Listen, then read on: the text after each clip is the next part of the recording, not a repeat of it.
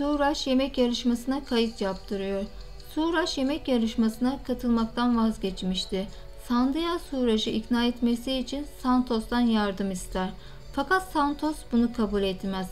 Daha sonra Sandıya Suraj'ın babasından Santos'un Suraj'ın yarışmaya katılmasına ikna etmesi için yardım ister ve bir plan yaparlar.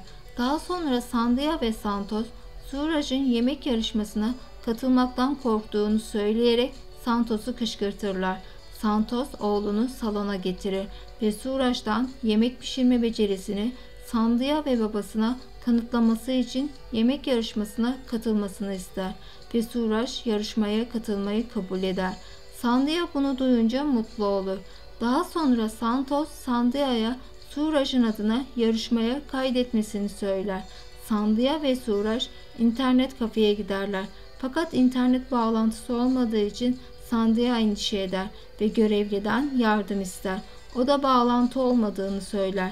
Sandıya yarışmaya başvurma süresinin bitmesine az bir zaman kaldığı için üzülür.